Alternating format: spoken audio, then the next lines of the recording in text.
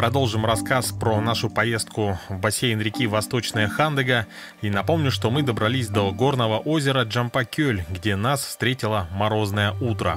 Утро, которое навсегда останется в моей памяти.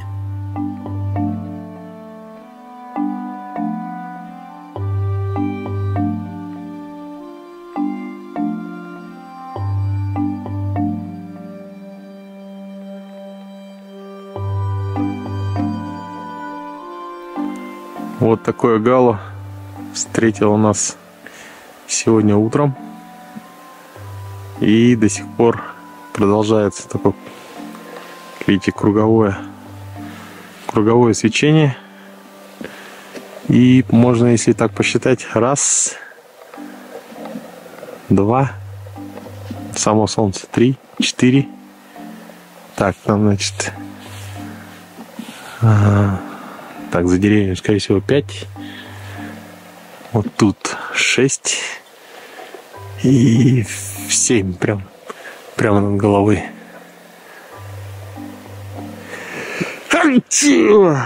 О, на солнце посмотрел.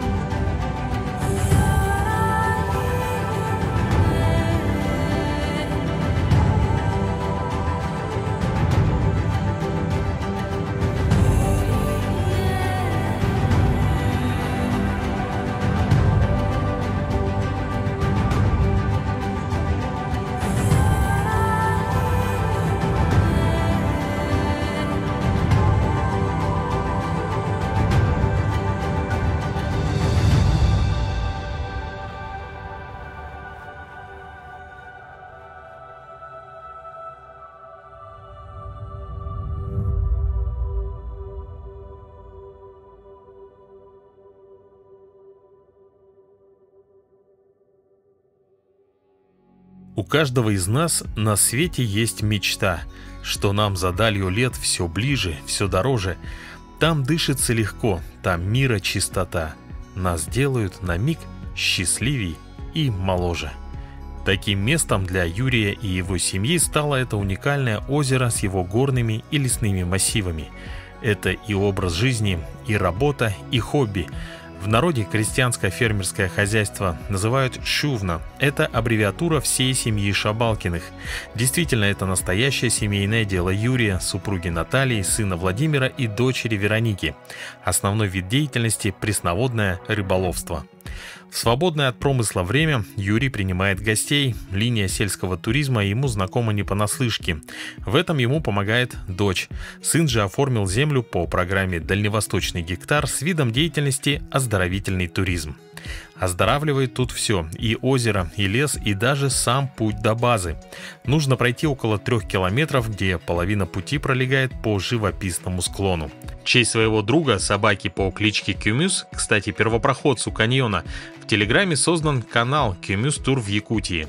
И если у вас возникло желание посетить эти необыкновенные места, то вы можете там оставить заявку, либо связаться с Юрием. Я пришел успокоить взор – на плече этих, низких гор. Я пришел остудить мозги. Серебристым стеклом шуги. Скоро сюда пойдет. Наверное.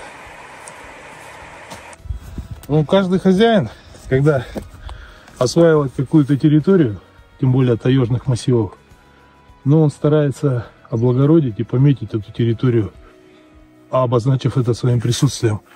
Но медведь, вот такой уважаемый зверь у нас есть в Якутии, он это делает вот своеобразно вот таким образом.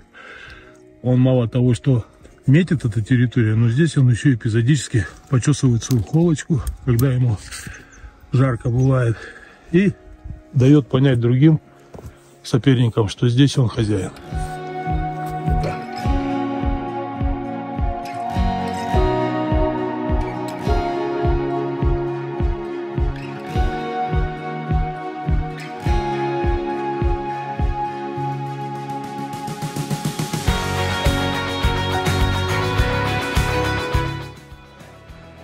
Иногда, когда гуляешь по долинам рек, особенно каменистых долинах, вот частенько встречаю вот такие камни. Ну, не частенько, но нахожу. Ну, говорят, куриный бог. Я вот всегда смотрю на кюн и загадываю желание. Потому что, когда солнце попадает в отверстие этого камня, получается такой лучезарный какой-то чистый-чистый круг. Сейчас желание тоже загадал.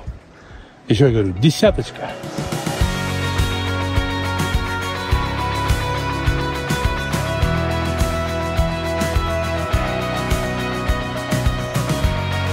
Горная река, она насколько непредсказуема во время осадка, что может вскипеть буквально за 3-4 часа. И вот для того, чтобы предостеречь, как говорится, бурдяк вот этот здесь, который остается, его надо, по крайней мере, привязать, чтобы вот, даже если вода подымется, никуда не еще веревочкой я и к дереву привязываю. Потому что это как бы необходимая вещь. Ну а так, в целом, все, как говорится, как учили старики. Сейчас мы освободим тару и засолим засолим рыбку. Засолим рыбку, которую потом везем. Настолько это я как делаю на автомате, потому что каждый, каждый раз. Все. Так. На обычно по ГОСТу 3 килограмма соли на 50 килограмм рыбы. Ну, я делаю всегда меньше. 2 килограмма я ложу. Тогда она получается малосоленая, нормальная, потому что ГОСТ предназначен для того, чтобы не испортился продукт и хранился очень долго. А мы, люди таежные, привыкли есть все в свежем виде, поэтому двух килограмм хватает на 50 килограмм. Все.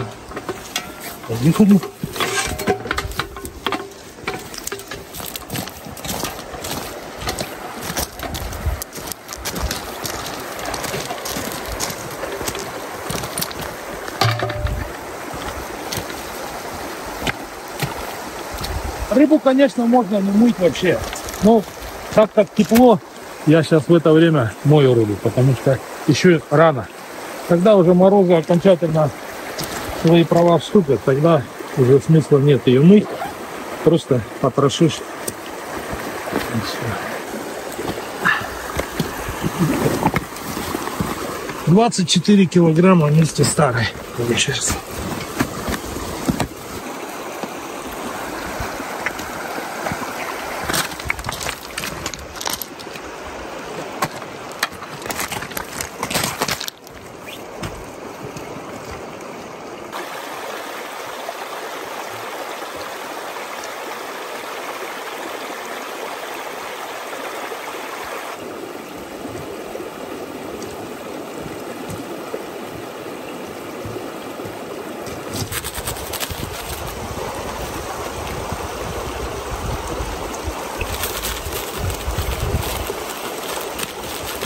Сейчас говорят, в Якутске добывают соль. Все никак у меня возможности нет попробовать. Что за соль?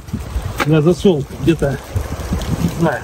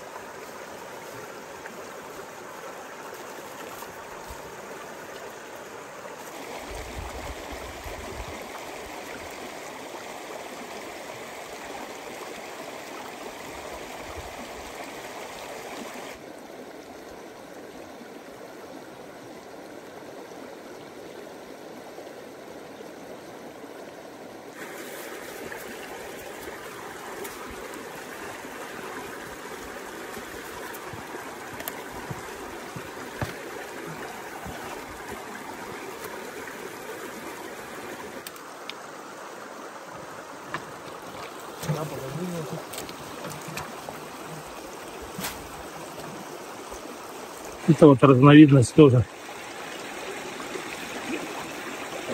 горного гольца. Ну, их особей много. Вот это рыло другое совершенно. А есть рыло, как у киты, у горбуши. В общем, однозначно, я говорю, теологами, мне кажется, до конца эта рыба еще не изучена у нас в Якутии. Потому что очень много всяких разных форм, как называют их, биоресурсов. Рыбу, которую сухим посолом соли, желательно не мыть, потому что когда попадает вода, происходит реакция, и уже и вкус получается не тот. Вот, ну а так, в принципе, сейчас мы ее, сейчас мы ее разрежем немножко.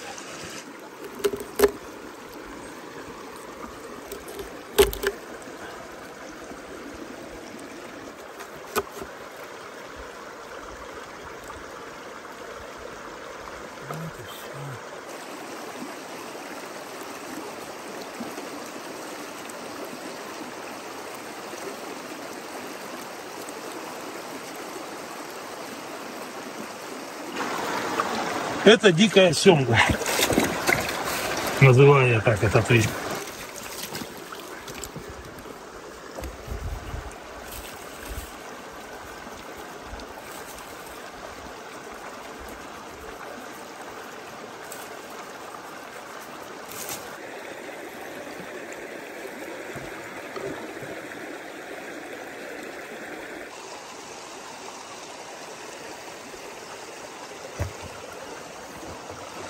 Это мне супруга дает, говорит, на, там тряпочки пригодятся тебе на этом. Я говорю, хорошо.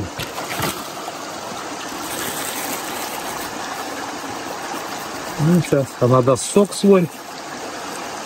Как говорится, лишнего ничего не будет, не влаги.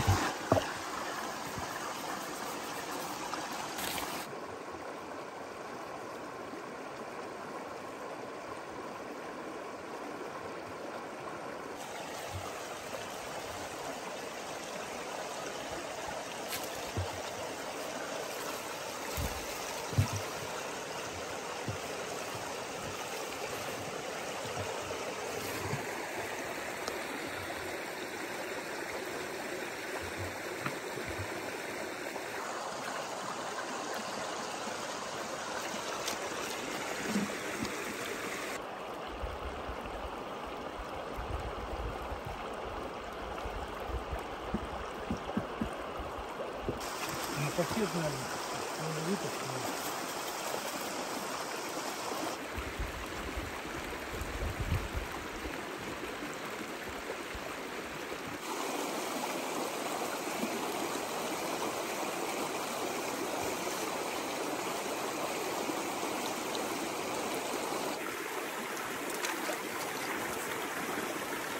Это я сверху соленое доложил. Ага. Ну вот, в принципе, и закончился процесс засолки этих, как их модно называть, биоресурсы. А вообще рыбы проще. Где-то уходит все равно в среднем около часа, пока туда, пока сюда. Сейчас возвращаться буду на базу. Вот расстояние от Кемюса до озера где-то 3 километра. Из них полтора а, подъем и полтора по Марине Ледниковой. Ну, так порой приходится утром и вечером выносить по 20 килограмм. Ну, где-то в среднем 25 уходит. То одно, то другое. Это ту рыбу, которую потом, уходя после промысла по воде, забираешь с собой домой. Но основной уже, как говорится, улов вывозишь снегоходами. Так что все. Вперед на Углановский перевал.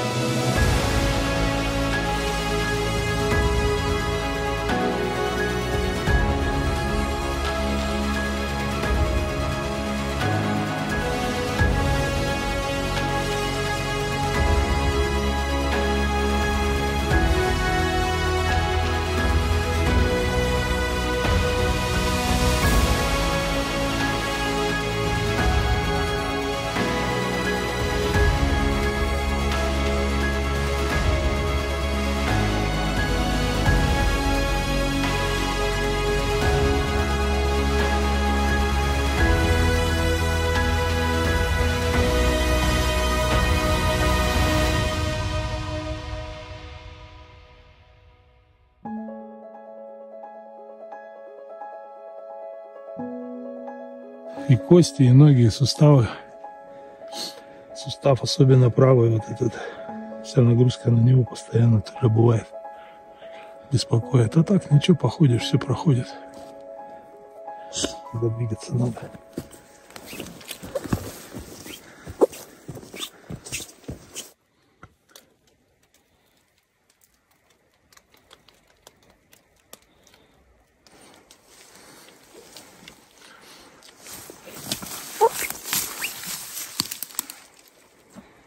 Глюкозка в конце подъема помогает.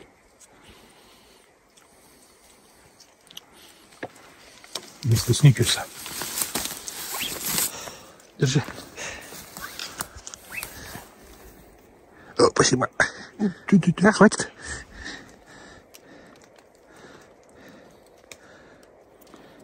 Вот так и шагаешь. В это время мы, оставшись на базе, под шикарным гало готовили обед.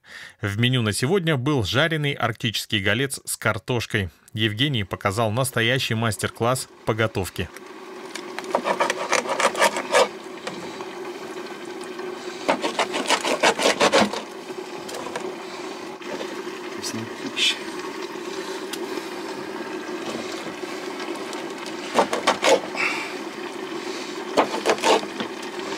Сейчас будем жарить ее. Тут у нас картошечка.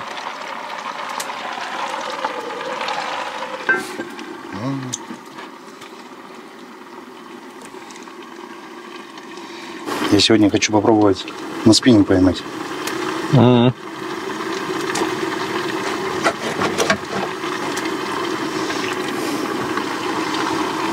Как этот феномен называется? Гала. А, гала. Ну, я такой большой гала в первый раз вижу.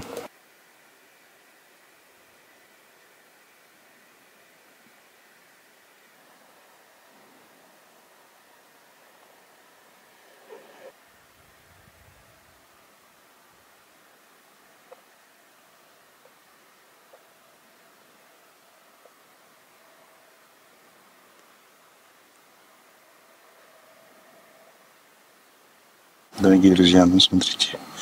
Теперь идет процесс жарки рыбы. Правда, не надо было накалить сковородку, ну ничего. Сейчас.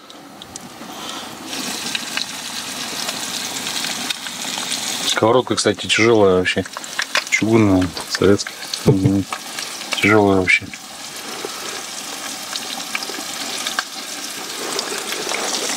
Вчера я пожарил, народ заценил.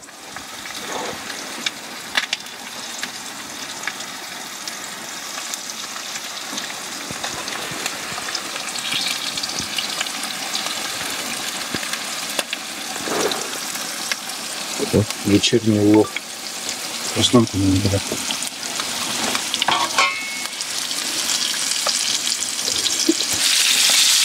Дорогие друзья, самое что интересно у этой рыбы, ее чистить вообще не нужно, шелуки нету. Кишки, кишкотарию вытащил, и все. Она готова.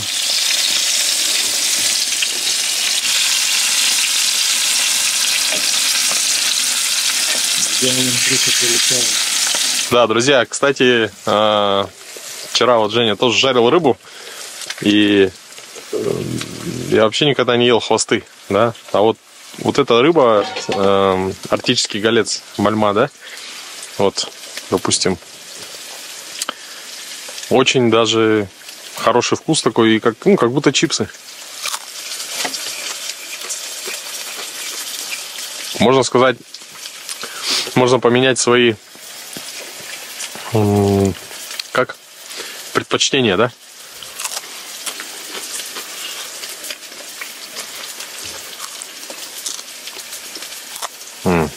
Она особенно горячая, да, хорошо вывозит.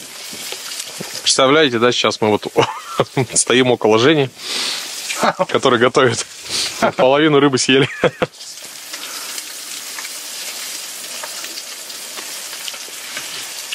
Свежайшая рыба, только буквально вчера плавала вот в этом озере.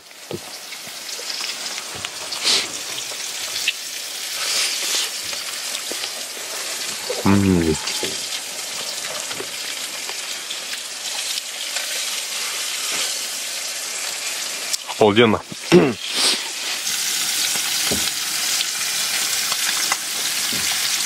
Так, у нас э, дядя Юра и Петр пошли вниз. Петр потерял рацию, уронил ее. Сейчас они идут обратно со второй рацией ее ищут.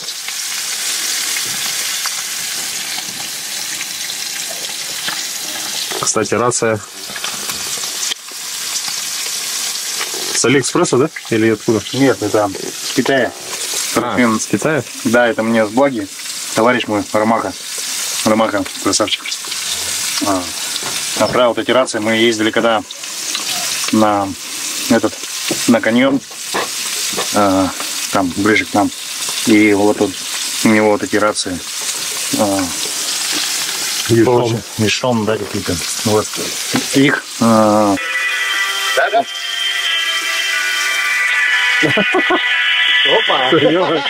ладно. Насколько чистый звук, да? В общем, радиус работы этих раций да, очень хороший. Петя, ты что там? Нашли рацию, нет? Ты дождись, когда я докончу, закончу разговаривать. Ты, вы нашли рацию? А. Странный способ.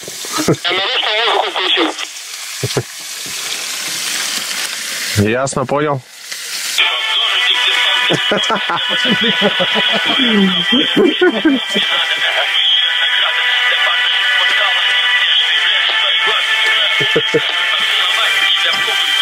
Короче, звук, да? да, да.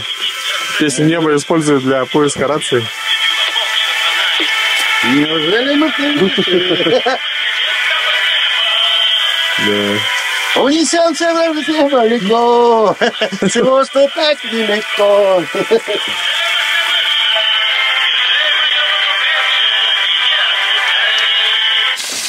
Да, друзья, мы тут стоим. э, Евгений жарит э, рыбу и переворачивает его просто пальцами. Ну, Спрашиваем, как ты не обжигаешься? Это лайфхак. Никакого секрета, просто не надо мыть пальчики. Берешь, смотри. Раз. Перевернул. Смотри, раз. Перевернул. Раз, перевернул. Ну, и никакого.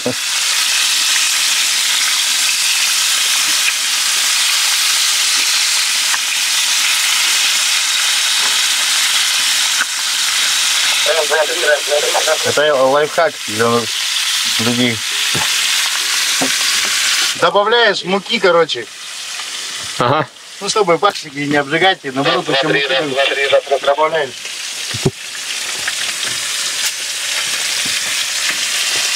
Вот так же убираешь спокойно. Чик, чик. Смотри. Красота. Красота. И картошечка готова. Она как раз дошла. Ой, как будем кушать сейчас.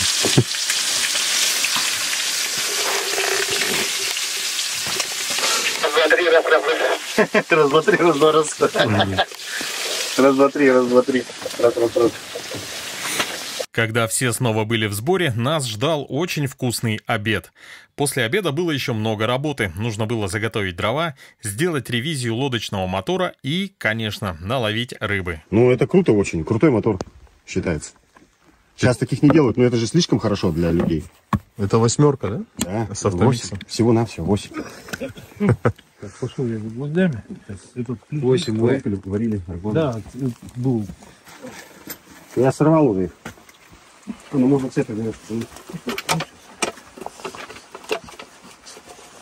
Она на сухом матом вообще садится. С одной стороны тоже хорошо.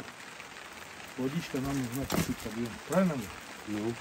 Да, это владельцы, как, как только свои моторы не, там, не лелеют. не это самое.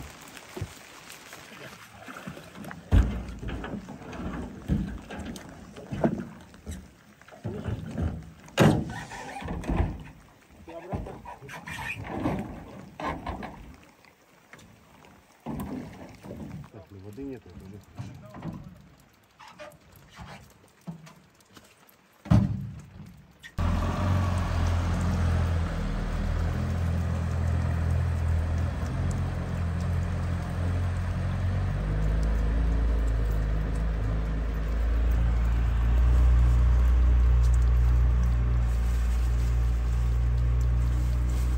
На лодке поехали за дровами. У Андрея уже тут работа.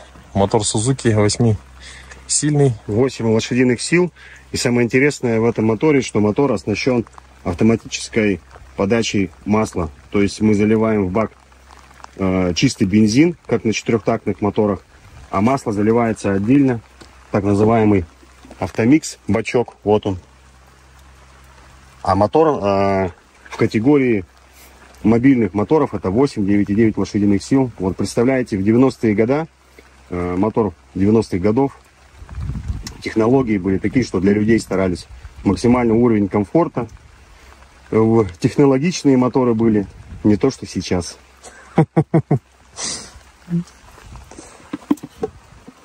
Реально технологичный. Да. Вот так. Тебе надо поменять масло в редукторе, да?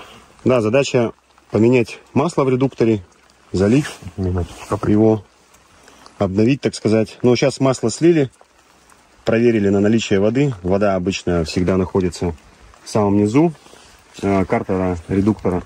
Воды нету, значит, сальники держат, пробки держат, э, герметичность. Это уже самое главное хорошо. Сейчас задача залить новое масло. А дальше мы заведем этот мотор. Что делать, когда нет специального шприца для загонки масла, да? Да, мы взяли бутылочку Ферри. У нее есть вот э, такая крышка. И чтобы разом э, залить масло, приходится так изощряться. Так как э, заливается масло только в вертикальном положении. Снизу закачивается до тех пор, пока не польется с верхнего отверстия. Вот оно верхнее отверстие. Это делается для того, чтобы э, выдавить, убрать весь воздух из объема внутреннего пространства редуктора. Так как если останется воздух, э, полный объем масла не зальется, и подшипник вертикального вала, который здесь находится, он будет голодать.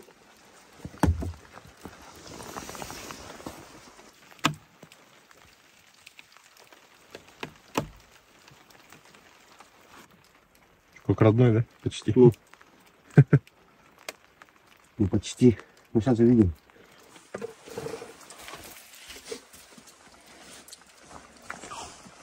Ты воронку нужна? Так полишь? Сейчас я повыше поставлю.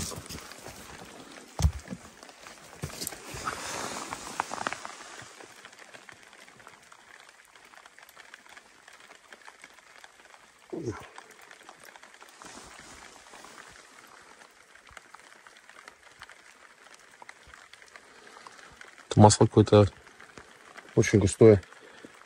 редуктора, да? Для редуктора. Ну, какое-то трансмиссионное. Вообще я не знаю, что это за масло. Юрий тоже не знает. Но оно точно... Возможно, моторное, ничего страшного. Главное, чтобы это масло было в редукторе. Вставляем ферри. И заливаем. Промушка редуктора, да?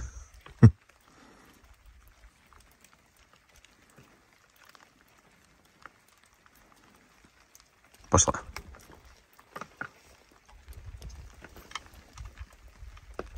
И резко закрываем. При этом, конечно, рядом желательно иметь ветошь, какие-то тряпочки, бумагу. Чтобы вот все это убрать. Но мы сейчас все почистим, уберем. Редуктор будет чистый. Вот это полный уровень масла. Когда он отсюда вышел, все, мы теперь знаем, что в редукторе масла необходимое количество.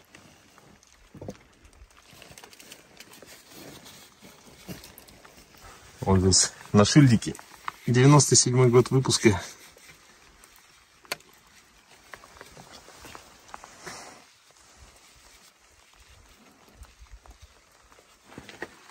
Получается, этот мотор еще не скрывали. Скорее всего, да? Ну, судя по болтам, следов вскрытия нет. То есть мотор 97 -го года, а под колпаком состояние более чем достойное. Вот такой мотор. Восьмерка. Можно сказать, аналог нашего ветерка. Но здесь есть полноценный вперед передача, нейтраль, реверс, задняя передача. Вот. Все, вся проводка аккуратно уложена в чехольчик.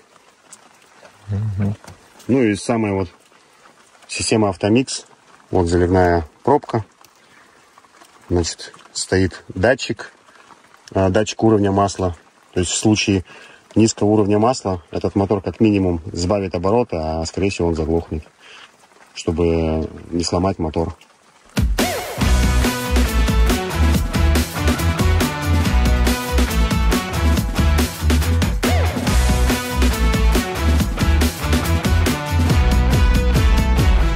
Тем временем часть нашей группы вернулась с дровами, которые мы оперативно разгрузили, а учитывая, что после обеда полил дождь, им нужно было согреться и сделать перерыв на отдых перед вечерним выездом за рыбой. Если утром мы видели, как Юрий засаливает рыбу, то сейчас вы узнаете способ, как отделять кости от рыбного филе, чтобы ваши близкие насладились истинным вкусом этой удивительной рыбы. Видите? У ней совершенно друг друга, друга, другая структура мяса. Она более-менее она жестче, чем вот та красная, которую вот перед этим. Видели белая, да? Мы ели до этого красная была.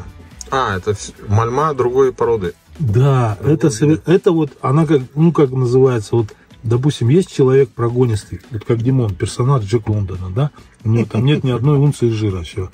А есть, допустим, его друг Евгений. Вот. Поэтому очень сложно вот с такой рыбы снимать. Поэтому я говорю, вот эта рыба лучше для жарки. Ну, в жареном виде, вы заметили, какая она? Нежная, вот она у нас тут. Так что, вот теперь я вот серебристую возьму и попробую сделать то же самое. Ну, посветите, пожалуйста. А Где у нас? Вот. Вот осы. Так, изначально, сначала удаляется.